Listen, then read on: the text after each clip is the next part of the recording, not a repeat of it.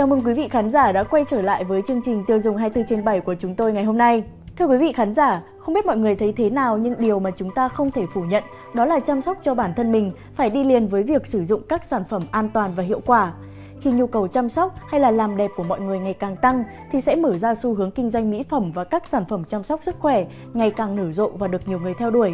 Vậy làm thế nào để các doanh nghiệp, cá nhân vừa kinh doanh mặt hàng này hiệu quả, vừa cung cấp cho người tiêu dùng sản phẩm tốt nhất?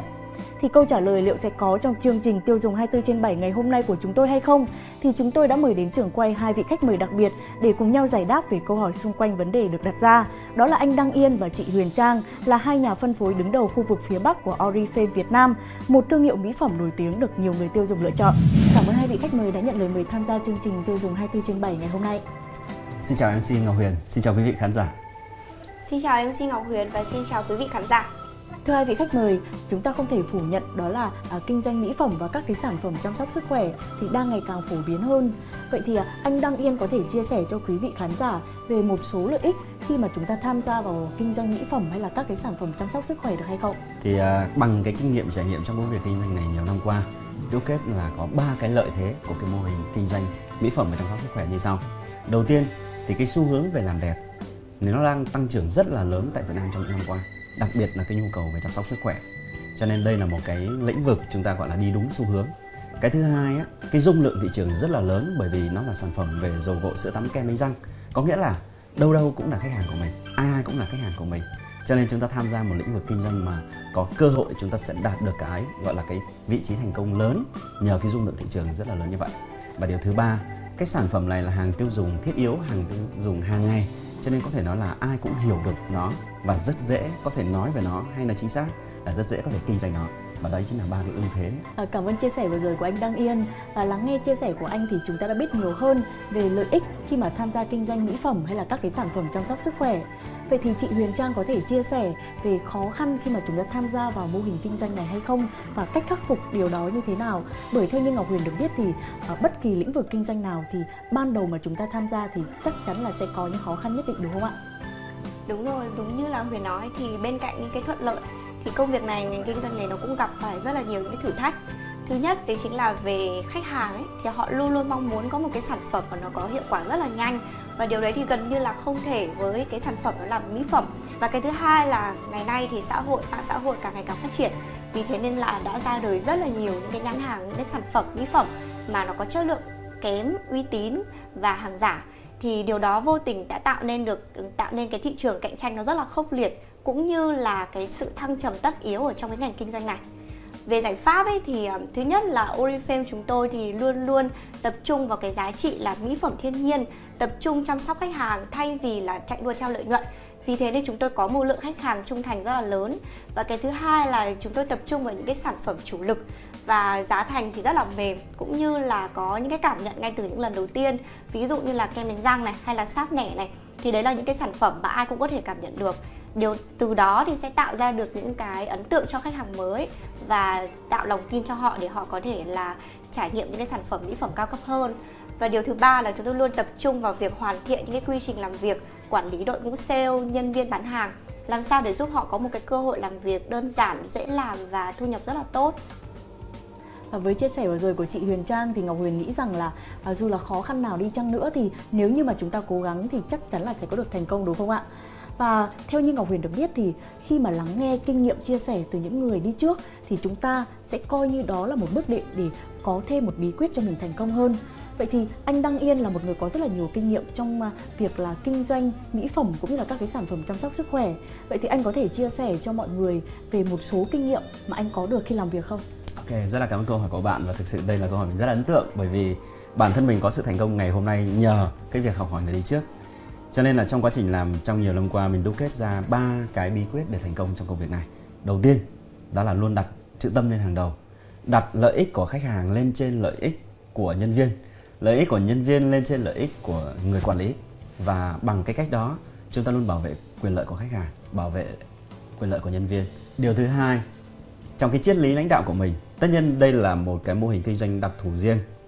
Thì à, trong cái mô hình kinh doanh này mình có một cái triết lý rất rõ ràng, đó là mình chỉ dạy người khác những thứ mình đã làm không thể dạy những thứ mình nghĩ như chưa có làm. Bằng cái triết lý đấy mình luôn luôn trải nghiệm trước mình luôn luôn nghiên cứu sản phẩm trước và đưa ra những cái giải pháp làm việc hiệu quả. Và bí quyết thứ ba đó là mình không ngừng hoàn thiện cái mô hình quản lý nhóm của mình truyền động lực cho cho đội ngũ bán hàng của mình để làm việc ngày càng hiệu quả tối ưu hơn với lượng thời gian ít hơn và à, hiệu quả nó nó tốt hơn. Cảm ơn chia sẻ vừa rồi của anh Đăng Yên. Và trước khi mà bước vào buổi trò chuyện ngày hôm nay thì Ngọc Huyền đã tìm hiểu về thương hiệu mỹ phẩm Oriflame và được biết đây là một thương hiệu thì đã có được cái sự yêu thích từ người tiêu dùng. Vậy thì à, chị Huyền Trang có thể chia sẻ thêm cho quý vị khán giả là yếu tố nào giúp cho Oriflame có được cái sự yêu thích như vậy, đồng thời là thu hút thêm rất là nhiều người tham gia vào mô hình kinh doanh mỹ phẩm và các sản phẩm chăm sóc sức khỏe.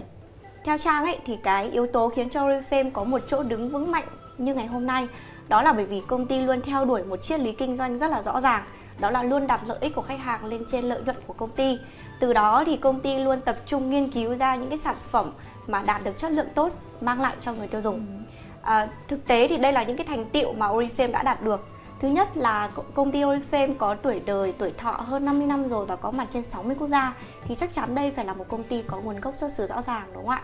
Và cái thứ hai là 1.000 sản phẩm của Oriflame đó chính là cái sự kết hợp giữa thiên nhiên và khoa học tiên tiến và đã đạt được tất cả mọi cái kiểm định nghiêm ngặt của châu Âu.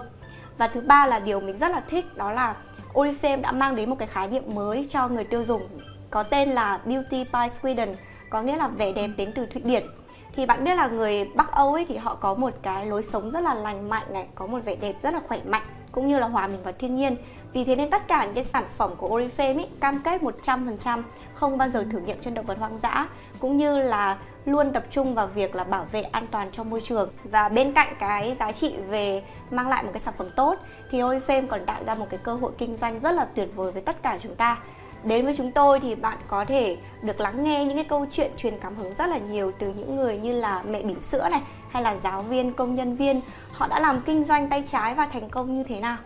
Ngoài ra thì bạn được thử sức kinh doanh không vốn với quy trình từ A đến Z và cam kết đồng hành lâu dài. Và chúng ta được biết là hiện nay với một cái thị trường mà trăm hoa đua nở, thì bên cạnh những cái sản phẩm có thương hiệu, có chất lượng thì chúng ta không thể phủ nhận đó là có rất là nhiều sản phẩm kém chất lượng này, khiến cho người tiêu dùng khi mà sử dụng thì gây rất là nhiều nguy hại cho sức khỏe đúng không? Mọi người thấy điều đấy đúng không ạ? Vậy thì à, anh đăng yên có thể chia sẻ về những cái nguy hại khi mà chúng ta sử dụng các cái sản phẩm kém chất lượng được không? Ok, thì đây là một cái câu hỏi mà rất may mắn là khi mới bắt đầu kinh doanh mình có nghiên cứu trên thị trường có những cái mỹ phẩm tràn lan là mỹ phẩm có thể là không rõ nguồn gốc. Thế thì à, mình lại là dân chuyên hóa cho nên được biết là có những cái son cái chất làm bóng trên môi ấy cho cho cho cho môi có cái son đấy là được lấy từ dầu diesel đầu dầu bôi trơn xe máy đấy thì nó rất là nguy hại cho môi của chúng ta. À, và ngoài ra thì những cái việc sản phẩm nó không rõ nguồn gốc cũng như là kem trộn nó có thể gây hại cho làn da của chúng ta để lại những di chứng và thậm chí chúng ta phải đi đến bệnh viện. Vậy thì à, bằng kinh nghiệm của mình mình có đưa ra lời khuyên cho quý vị khán giả đó là hãy có cho mình một chuyên viên tư vấn về chăm sóc à, sức khỏe cũng như làm đẹp. Và điều thứ hai ấy, đặc biệt trong lĩnh vực về làm đẹp thì phải nhớ triết lý là không cái gì có thể đến ngay tức khắc. Cái gì dễ đến nó sẽ dễ đi. Chúng ta cần phải biến cái việc làm đẹp đấy như một thói quen hàng ngày. À, và vẻ đẹp của chúng ta sẽ được cải thiện dần dần. À, cho nên là chúng ta cần phải biến cái việc chăm sóc sức khỏe như một cái gọi là thói quen và món ăn hàng ngày mà chúng ta gọi là sử dụng nó. Ngọc Huyền xin cảm ơn chia sẻ vừa rồi của anh Đăng Yên và chắc chắn là sau buổi trò chuyện ngày hôm nay thì Ngọc Huyền sẽ tìm ngay cho mình đúng một chuyên viên tư vấn về chăm sóc sắc đẹp thật là uy tín đúng không ạ? Vâng, rất, cảm ơn rất là hai... cần một người như vậy. Vâng và cảm ơn hai vị khách mời đã có mặt trong chương trình ngày hôm nay. Thưa quý vị khán giả, qua chia sẻ của hai vị khách mời thì phần nào chúng ta nhận thấy là kinh doanh mỹ phẩm và sản phẩm chăm sóc sức khỏe chất lượng, an toàn vừa giúp người kinh doanh có được lợi nhuận lâu dài, vừa giúp cho người sử dụng được những sản phẩm có ích cho việc làm đẹp và chăm sóc bản thân. Thưa quý vị khán giả, tiêu dùng 24 trên 7 thì luôn mong muốn là qua từng số phát sóng của chương trình thì sẽ đồng hành cùng với quý vị khán giả trong việc có thêm nhiều lựa chọn hoàn hảo khi làm đẹp và chăm sóc cho bản thân hoặc là tìm được cho mình một hướng kinh doanh mới, thú vị và hiệu quả. Vậy thì ngày hôm nay thì quý vị đã có thêm một gợi ý bổ ích hay chưa? Thì chúng tôi mong rằng là câu trả lời sẽ là có. Đến đây thì thời lượng chương trình tiêu dùng 24 trên 7 đã khép lại. Cảm ơn quý vị và các bạn đã dành thời gian quan tâm và theo dõi. Hẹn gặp lại quý vị trong những số tiếp theo của Tiêu dùng 24 trên 7 vào khung giờ 20 giờ từ thứ hai đến thứ bảy hàng tuần trên kênh VTC6. Xin chào và